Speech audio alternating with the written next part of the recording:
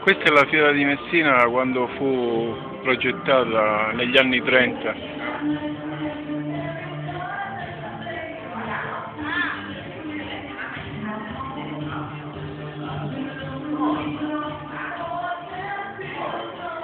Il Lirera a Mare era questo edificio bianco all'ingresso della fiera. Una progettazione razionalista che poteva portare in questa città l'interesse della cinematografia mondiale.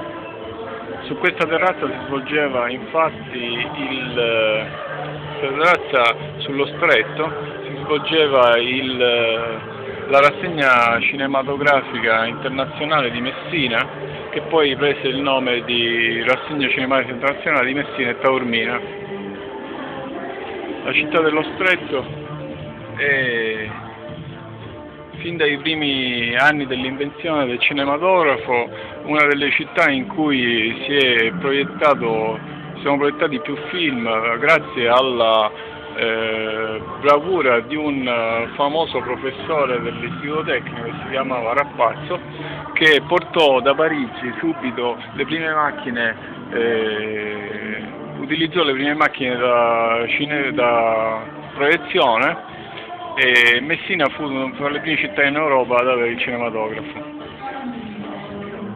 Rappazzo fu poi quello che sviluppò negli anni a seguire eh, quell'ingegnoso sistema che è passato alla storia come eh, il cinema sonoro. Praticamente ebbe la geniale idea di accoppiare il nastro di celluloide con eh, il nastro magnetico per fare la pista eh, che era impressionata dalla luce, non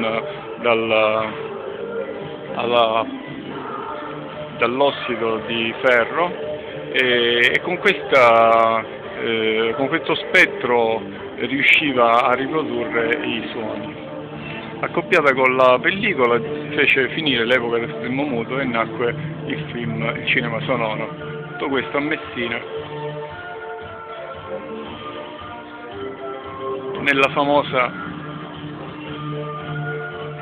terrazza dell'Irrera a mare.